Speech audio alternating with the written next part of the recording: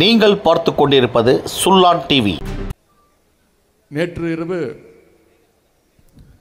மதுரைக்கு வந்து மதுரை விமான நிலையத்திலிருந்து எட்டு மணி அளவில் அங்கேருந்து கிளம்பி இங்கே வரும்பொழுது இரவு பத்து மணி. அண்ணன் பெரிய கருப்பன் அவர்கள் பத்து மணி இருந்தாலும் பரவாயில்ல ரெண்டு இடத்துல கொடி ஏற்றணும் அப்படின்னாரு. கழக கொடி ஏற்றணும் அப்படின்னாரு. பத்து மணிக்கு யாருன்னா இருப்பாங்க?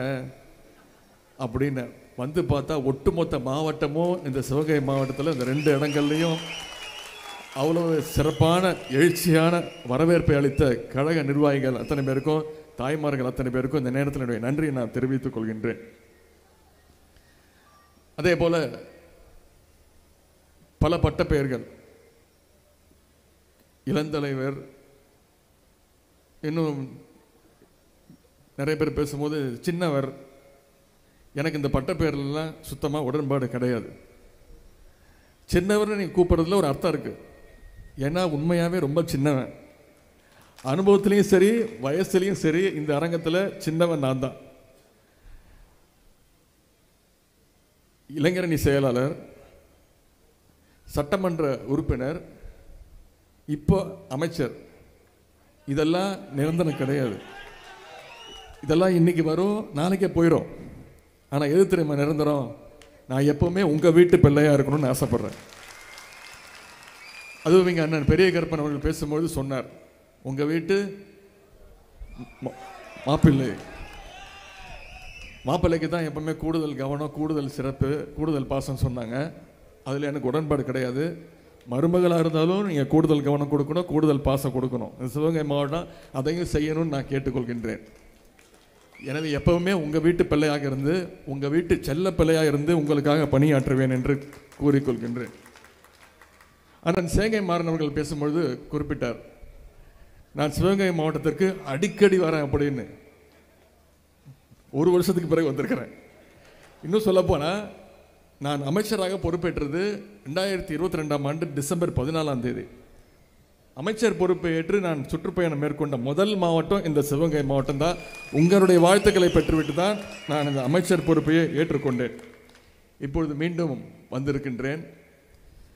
மாவட்ட கழகம் சார்பாக ஐ- ஆயிரத்தி ஐநூறு பேருக்கு கழகத்திற்காக உழைத்த மூத்த முன்னோடிகளுக்கு தலா ரூபாய் இருபதாயிரம் பொற்கிழி மற்றும் சேலை வேட்டி இப்படி பல நலத்திட்ட உதவிகள் ஐயாயிரம் ரூபாய் மதிப்பில் நலத்திட்ட உதவிகள் இந்த நிகழ்ச்சியில் வழங்குவதில் நான் மிகுந்த பெருமை அடைகின்றேன் மகிழ்ச்சி அடைகின்றேன். இந்த நிகழ்ச்சி கடந்த அண்ணன் சொன்னது போல் இரண்டு முறை திட்டமிடப்பட்டு ரத்து செய்யப்பட்டு பல்வேறு காரணங்களால் ஒரு காரணம் சென்னையில் ஏற்பட்ட அந்த பெருவெள்ளம் அப்பொழுது என்னால் வர முடியவில்லை. அதன் அடுத்த பிறகு அடுத்த வாரம் வரேன் அப்படின்னு அண்ணன் கிட்ட சொன்னேன். அதன் பிறகு பார்த்தீங்கன்னா தூத்துக்குடி நெல்லை மாவட்டங்களில் மிகப்பெரிய வெள்ளம். அப்பொழுதும் கேன்சல் ஆயிடுச்சு.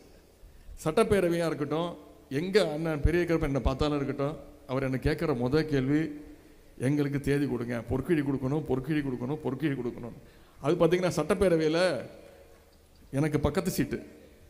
எனக்கு பக்கத்து சீட்டு அண்ணன் ரகுபதி அண்ணன் அவர்கள் ரகுபதி அண்ணனுக்கு பக்கத்து சீட்டு அண்ணன் பெரிய கருப்பன் அவர்கள். அங்கேயும் கேட்டுக்கிட்டே இருப்பார் பொற்கிழி கொடுக்கணும் மறந்துடாதீங்க பொற்கிழி நான் கூட சொன்னேன் அண்ணன் சட்டமன்ற தே- நாடாளுமன்ற தேர்தல் வருது அப்போ பிரச்சாரத்துக்கு வருவேன். அப்போ கொடுத்துடலாம் ஐயையோ அதுவும் இதுவும் சேர்த்து கிடையாதுங்க. கழக மூத்த முன்னோடிகள்லாம் கண்டிப்பாக உங்கள் கையால் வாங்கணும்னு காத்துக்கிட்டு இருக்காங்க. நீங்கள் வந்தே ஆகணும்னு இப்போ கூட சட்டமன்ற கூட்டத்தொடர் நடந்துக்கிட்டு இருக்கு. ரெண்டு நாள் லீவு. நேற்று முன்தினம் தலைவர் அவர்கள் பேசினாங்க சட்டமன்றத்தை. நீங்களாம் பார்த்துருப்பீங்க.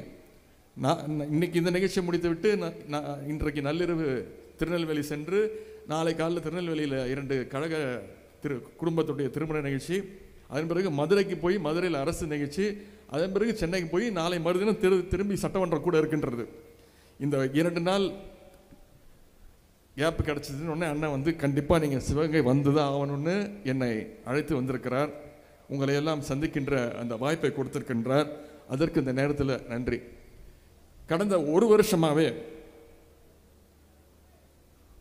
தமிழ்நாட்டுடைய எந்த மாவட்டத்திற்கு சென்றாலும் எந்த மாவட்ட கழக செயலராக இருந்தாலும் எந்த அமைச்சராக இருந்தாலும் எந்த இளைஞரணி நிர்வாகிகளாக இருந்தாலும் என்னிடத்துல தேதி கேட்பாங்க. எங்களுடைய வீட்டு நிகழ்ச்சிக்கு வாங்க குடும்ப நிகழ்ச்சிக்கு வாங்க கழக நிகழ்ச்சிக்கு வாங்க அப்படின்னு. அப்பொழுதெல்லாம் நாம் அவங்க அவங்ககிட்ட சொல்கிற ஒரே அன்பு கட்டளை ஒன்றே ஒன்று தான் நான் உங்களுடைய மாவட்டத்திற்கு வரேன். எத்தனை நிகழ்ச்சினாலும் நான் கலந்துக்கிறேன். ஆனால் என்னுடைய மனசுக்கு திருப்தியாக இருக்கக்கூடிய நான் சொல்கிற ஒரு நிகழ்ச்சியை நீங்கள் நடத்தினா நான் வரேன் அப்படின்னு சொல்லுவேன் அது என்ன நிகழ்ச்சின்னா நான் வரேன். ஆனால் கழகத்திற்காக உழைத்த மூத்த முன்னோடிகளை அழைச்சி நீங்கள் அவங்கள கௌரவப்படுத்தணும் அவங்களுக்கு பொற்கிழி வழங்கணும். அப்படி நடத்தினீங்கன்னா நான் வரேன்னு சொல்லி தான் கடந்த ஒரு வருஷமாக அனைத்து மாவட்டங்களுக்கு செல்லும்பொழுது இந்த கழக மூத்த முன்னோடிகளை சந்திக்கிறத ஒரு சிறந்த நிகழ்ச்சியாக நடத்திக்கிட்டு இருக்கிறோம். தலைமை கழகத்தின் சார்பாக அண்ணா அறிவாலயத்திலிருந்து கலைஞர் அறக்கட்டளையின் பேரில் கழகத்திற்காக உழைத்த மூத்த முன்னோடிகளுக்கு எட்டு பேர் தலா எட்டு பேருக்கு மாதா மாதம் இருபத்தைந்தாயிரம் ரூபாய் கலைஞர் அற அறக்கட்டளை அண்ணா அறிவாலயத்திலிருந்து கொடுக்குறாங்க. இதுவரை கொடுத்திருக்கக்கூடிய தொகை கிட்டத்தட்ட ஆறு கோடி ரூபாய் அளவுக்கு.